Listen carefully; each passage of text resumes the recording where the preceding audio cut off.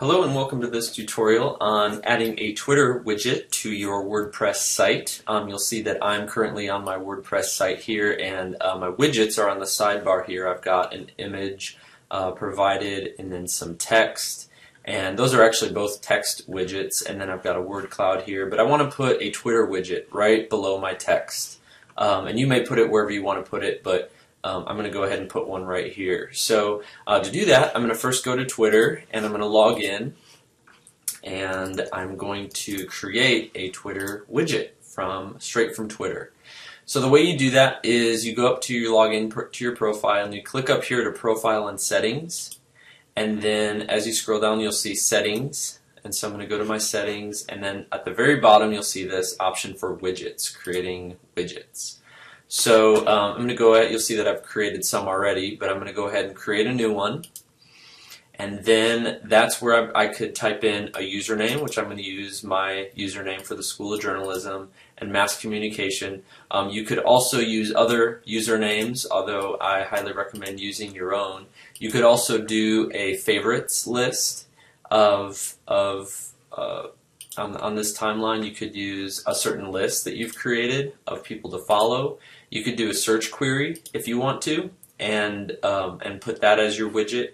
Um, and then you have this option for collections if you've created any collections within your Twitter um, account. And so I'm just going to use my personal timeline, my uh, timeline for the School of Journalism. Um, you can choose whether or not you want to exclude or include replies, and I'm going to go ahead and exclude those um, just so people see what I update instead of what I'm replying to. And then I'm going to go ahead and let that those photos auto expand, and you can see that that's happening right there. Um, and then I'm gonna you can choose two themes, light or dark, and I'm going to go ahead and just choose light, and then I'm going to go ahead and click Create Widget. Now, I'm going to toggle back to my window here in my, my dashboard of WordPress and I'm going to access my widgets area. So just click on appearance and then click on widgets down here and you'll see that you'll be taken to the area where all of your widgets are appearing.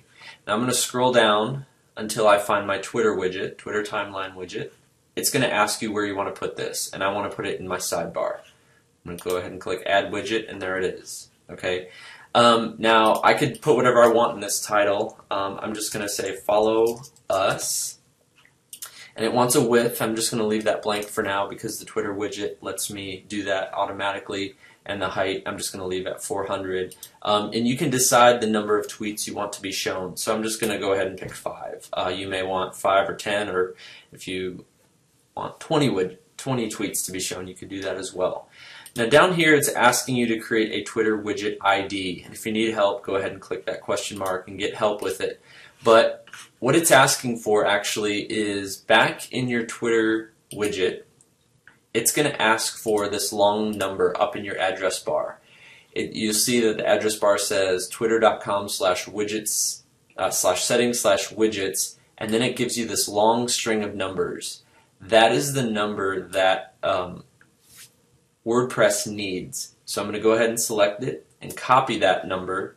Remember, it's just between these slashes, so don't use, don't get the slashes in there. Just make sure you get this long string of numbers, and that is what WordPress needs. I'm going to go ahead and copy it, and then I will paste it right here where it says widget ID. And I don't know why they make it so difficult for this, but that's how you do it. You could also choose your own link colors, and you should know these from our HTML discussion and um, and then you can choose whatever theme you want. I'm going to go ahead and press save. And beyond that, I also want to um, change the order of it. So in my timeline, instead of having it come kind of below the archives, I want it to be under my last text widget. So I'm going to toggle back, and I'm just going to drag this up to come up below my uh, text widget. And it auto saves, so now when I press refresh, it should pop up. And there it is, the Twitter timeline pops up. And so then you can go back and customize it if you want to and change the number of tweets shown or uh, even change the border color or link color or anything else that you want to do. And that's how you add a Twitter widget to your page.